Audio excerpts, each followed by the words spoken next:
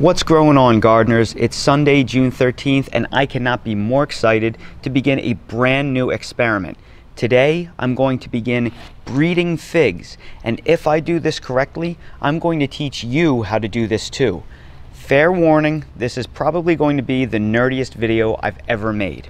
Did you know that fig trees can be both male and female? The figs that we eat come from female fig trees, like the ones right here in front of me. It's the ladies that produce the figs that we all know and love. Male fig trees, on the other hand, are called caprifigs. They produce figs too, but they're generally inedible. Male figs have two unique purposes. Number one, they hold the pollen that fertilizes the figs of the female fig trees. And number two, they house the fig wasps that actively fertilize the female fig trees. Male figs are actually pollen-filled wasp colonies. Have you heard the age-old story that there are wasps in your figs? Well, that's kind of true, but also kind of a lie. Let me explain. First off, the fig wasp is not a wasp like you're probably thinking. When you hear the word wasp, you're probably thinking of some big sting crazy hornet or something. Fig wasp is just a nickname. The proper name of the species is the Blastophaga psenes. Did I say that correctly? Because I really need to brush up on my Latin. From here on out, I'm just going to call it the fig wasp. The fig wasp is a tiny insect, only about two millimeters in length, which makes it almost imperceptibly small. It's one of nature's most incredible examples of mutualism, which is a symbiotic relationship between two different species where both species benefit from their interaction. Without the fig wasp, there would be no fig trees because they wouldn't be able to produce fertile seed to reproduce. And without fig trees, fig wasps would be homeless and have nowhere to live. Fig wasps colonize the figs on male caprifig trees. Male caprifigs have three different crops. The first crop is the profichi or Breba crop, which ripens late spring and contains the fig pollen. The second crop is the Mammoni or fall crop, which ripens alongside the main crop of most female figs. For this reason, it is generally considered the male tree's main crop. And the third is the Mamme or winter crop.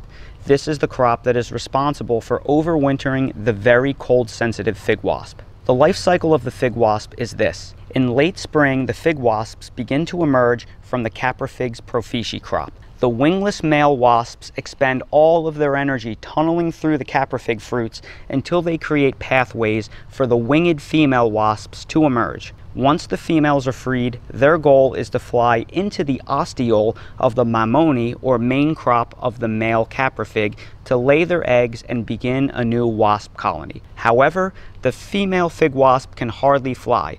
The slightest breeze carries her away the female is unable to distinguish between male and female figs. So if the wind carries the female wasp to a female fig, she will attempt to enter the ostiole of the female fig. If she does this, she will tunnel through the ostiole of the female fig, get stuck, rip her wings off in the process, and die. But remember, since she just emerged from the profichi fig, she is covered in male pollen when she dies. This is how female figs become pollinated or caprified.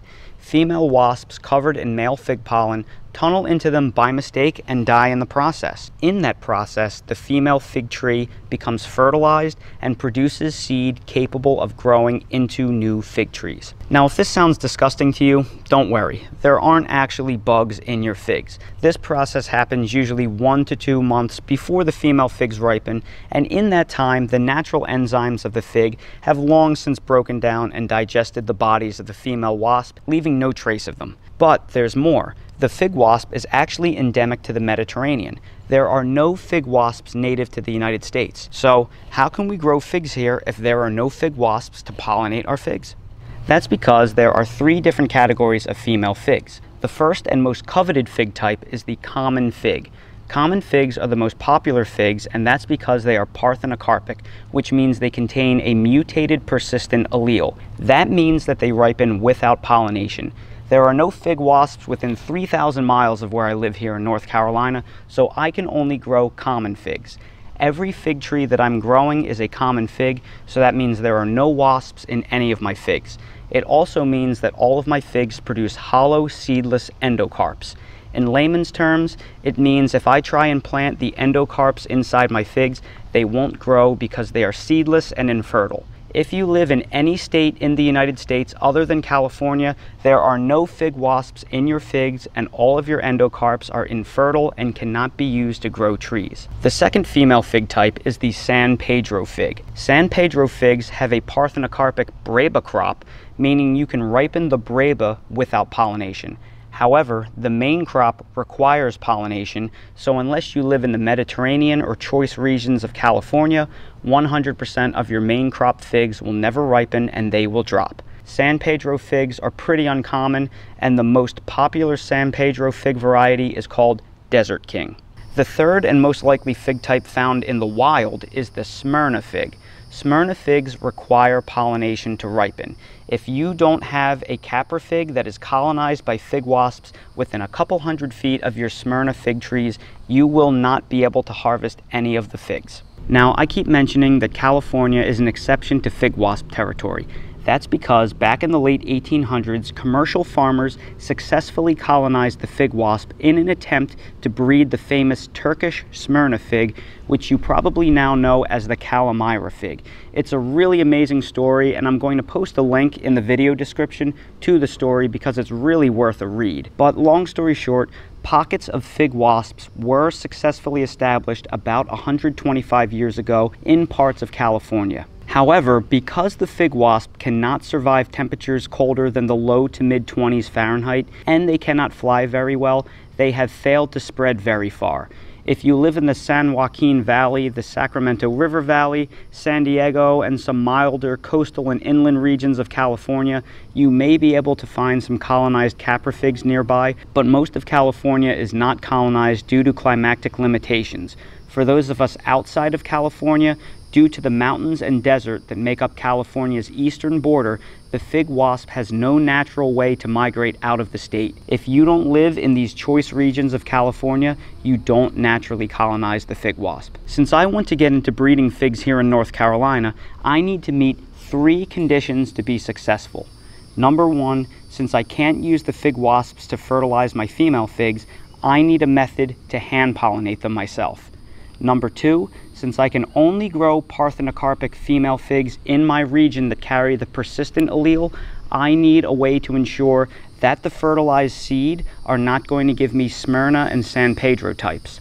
And number three, I need male fig pollen from a certain type of caprifig, and that's because there are two different types of caprifigs.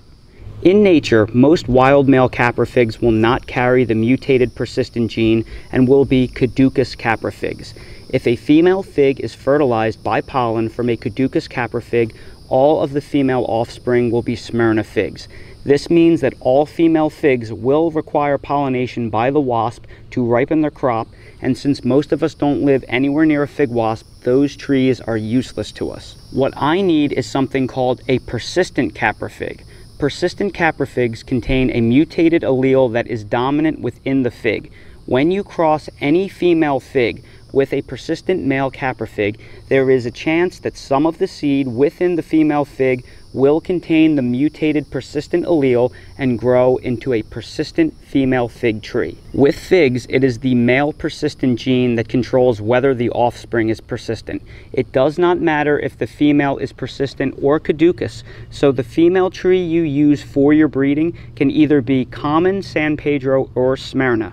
Over the last two years, I secured a persistent male caprifig right here that you can see, and it's finally mature enough to be producing its Breba profichi crop, which I have in my hand right here. This caprifig is a persistent male caprifig from the University of California Riverside called UCR-271-1, also known as Salib. Crossing a female fig with this male caprifig will yield some amount of persistent female seed that I can grow figs here in North Carolina. But how do I know how much? Well, do you remember Punnett squares from 7th grade science class? According to my research, the best chance to develop a persistent female fig is by crossing a persistent capra fig with a persistent female fig. This is because the persistent male and female fig trees must be heterozygous. Based on this Punnett square, half of the seeds will fail to pollinate, 25% will fertilize but abort, and the other 25% will grow into a persistent offspring. Now you might be thinking, well, thanks a lot for the science lesson, but what does this mean in plain English? Well, what this means is if I take a whole bunch of that fertilized fig seed and I plant them, and 12 of those seeds germinate, all 12 of them will be persistent trees and there'll be some random mix of male and female. I will then need to grow out all 12 fig trees for at least a year until they produce mature ripe figs to then test if they are male or female. All figs found to be female will be persistent trees and I can ripen them away from the wasp. The question is, how many of them will be female? I'm sure plenty of you watching have two or three kids that are all boys or all girls, so nature isn't always 50-50. I could wind up with 12 trees and all 12 being persistent female figs, or I could wind up with none.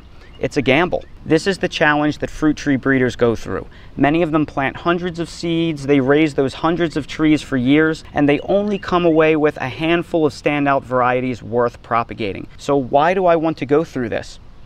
Because it's fun.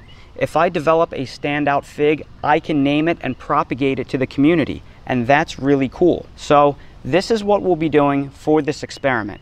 We will be harvesting male fig pollen from my persistent Caprifig, hand pollinating a female fig of my choice with the male pollen, testing the seeds for fertility, attempting to germinate the fertile seed, growing those fig trees until maturity, evaluating any persistent females for fruit quality, and finally, if some of them turn out to be good, we can share the good quality female fig trees with the community. This will be a long-term experiment that will probably take two years or so to complete if I do this properly on my first try. However, in the end, if this experiment is successful, it will be literally the best information on the entire planet for amateur fig breeding, and that is truly priceless information to share with the world. So I invite you to follow along with this very exciting experiment, and if you have access to a persistent Caprifig, please join along in real time. So make sure to stay tuned because I have ripe Caprifigs on my tree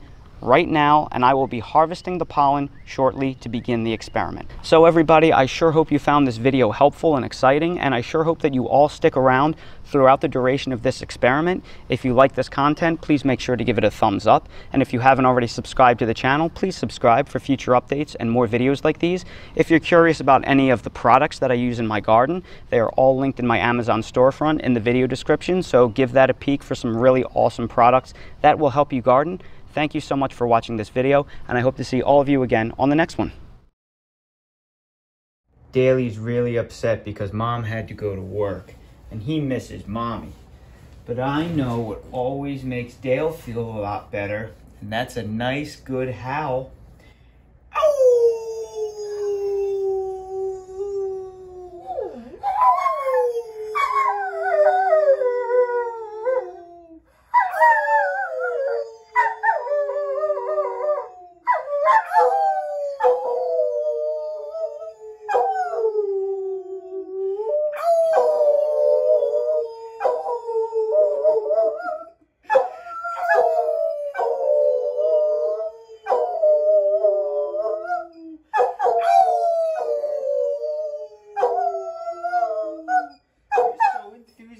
With your howling.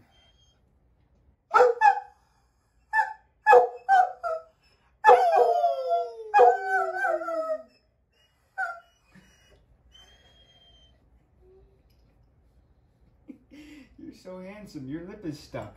You got your tooth stuck.